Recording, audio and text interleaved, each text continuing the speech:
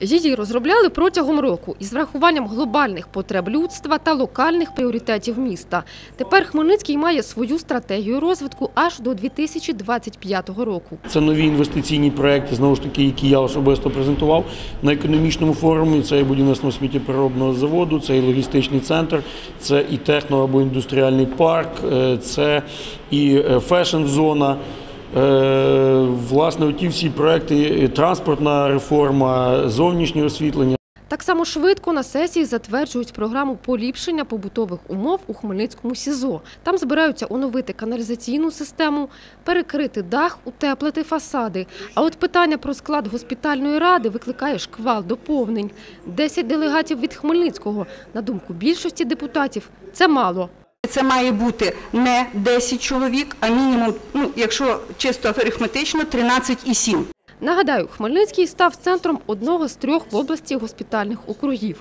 Відповідно, у госпітальну раду увійшли представники від всіх тергромад округу та найбільше з обласного центру. 42 особи, з них 10 представників міста Хмельницького.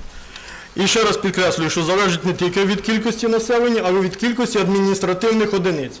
Виявляється, госпітальна рада наче медом намазана, адже вона, з-поміж іншого, матиме справу з розподілом трансфертів між бюджетами медзакладів округу. І найцікавіше вирішуватиме питання з призначенням та звільненням головних лікарів. Звичайно, що головні лікарі хочуть себе страхувати і в такий спосіб відстоювати свої інтереси. Е, Тому що зрозуміло, що якщо головного лікаря закінчується через рік контракт, а він член госпітальної ради, він сам себе буде однозначно рекомендувати разом з колегами.